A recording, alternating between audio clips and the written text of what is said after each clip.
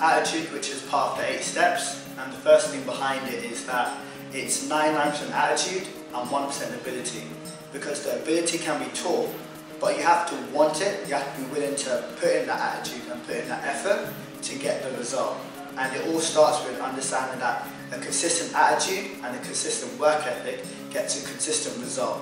So when you learn a system, when you learn that you need to have a bit more sense of urgency, that you need to put a bit more effort, it's then just doing that consistently, turning the extra objection, going to that last one, having a bit more fun, promoting a bit more positive. One thing I would say as well is that it's what do you say to yourself when no one else is listening, because you're your own best friend and your worst enemy.